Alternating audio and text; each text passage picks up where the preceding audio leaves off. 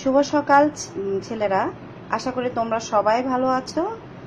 আমি নিবেদিতা দত্ত টিচার গতদিন তোমাদের তৃতীয় শ্রেণির একটি অঙ্ক ক্লাস নিয়েছিলাম, যেখানে চতুর্থ অধ্যায় থেকে কিছু গুণ অঙ্ক তোমাদেরকে করিয়েছিলাম। আমি আটান্ন পৃষ্ঠা পর্যন্ত তোমাদের অঙ্ক করিয়েছি। আজকে আমি উনষাট পৃষ্ঠা থেকে তোমাদেরকে অঙ্ক করাবো। এবং উনষাট পৃষ্ঠায় আমি যে তোমাদেরকে আটান্ন পৃষ্ঠা পর্যন্ত যে অঙ্কগুলো করেছি, সেগুলো ঘুরি- ঘুরিয়ে ফিরিয়ে বিভিন্নভাবে দেওয়া আছে। নিয়মগুলো একই। আমি আশা করি গতদিন করানোর পর তোমরা সবাই অঙ্কগুলো করেছ, বারবার চর্চা করেছ। আজকে দেখো আমি আবার সংক্ষেপে প্রতিটা নিয়ম থেকে চেষ্টা করেছি একটু একটু নেওয়ার। আমরা কয়েকটা অঙ্ক ওই পৃষ্ঠা থেকে করব। হ্যাঁ? এখন আসো, গুণ করো। দেখো, প্রথমে নিয়েছি আমি, দেখো, উপরে দুই অঙ্কের সাথে নিচে এক অঙ্ক দিয়ে কীভাবে গুণ করতে হয়। প্রথমে এককের ঘর এককের ঘর করব চার দুগুণে আট, দুই একে দুই। উত্তর লিখে ফেলি, আমাদের উত্তর এসছে আটাশ। উত্তর, গুণফল আটাশ। এখন দেখো, এর পরের অঙ্কটা আমি নিচ্ছি। পঁচাত্তর গুণ ছয় সমান কত? তাহলে আমি এটা একটু লিখি। দেখো।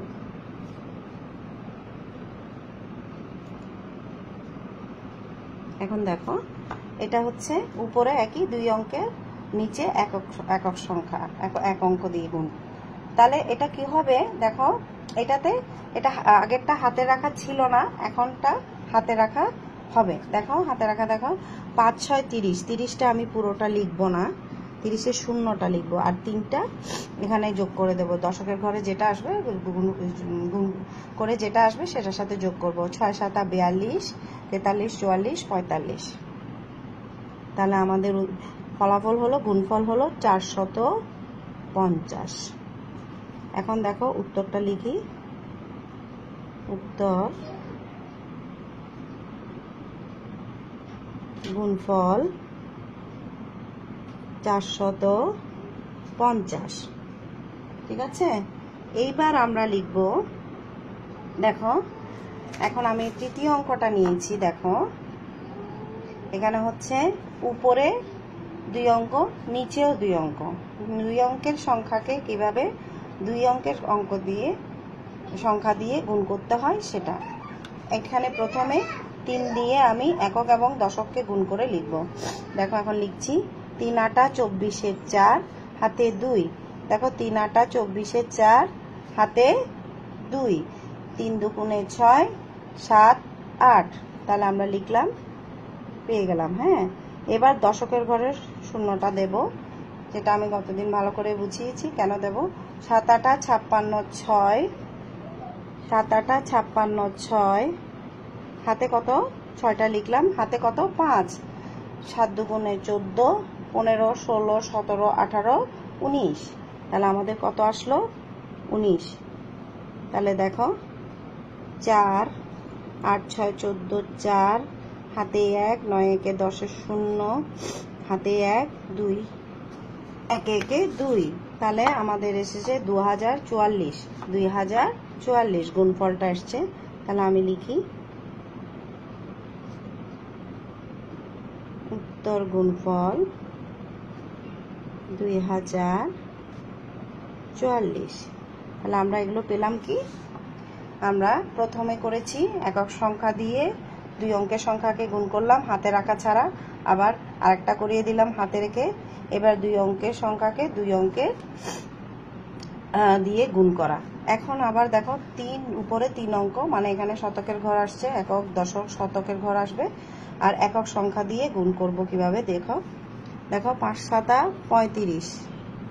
পাঁচ সাতা পঁয়ত্রিশ, পঁয়ত্রিশের পাঁচ সরি পাঁচ সাতা পঁয়ত্রিশ, পঁয়ত্রিশের পাঁচটা লিখব আমরা। হাতে তিন, সাত শূন্য শূন্য শূন্য সাথে তিন যোগ করলে তিন। তারপর তিন সাতা একুশ, তিন সাতা একুশ। হুম, তাহলে আমাদের পেয়েছি দু হাজার একশত পঁয়ত্রিশ। দুই হাজার একশত পঁয়ত্রিশ। তাহলে আমরা প্রথমটা পেলাম কি? দুই হাজার একশত পঁয়ত্রিশ। তাহলে উত্তর?